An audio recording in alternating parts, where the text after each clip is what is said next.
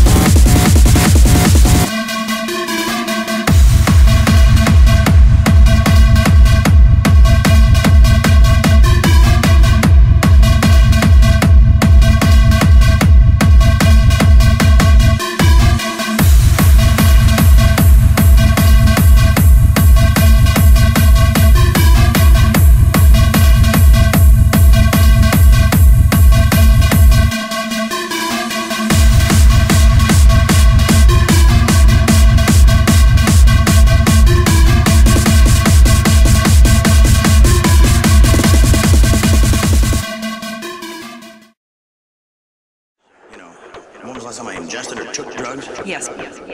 What is going on inside the head?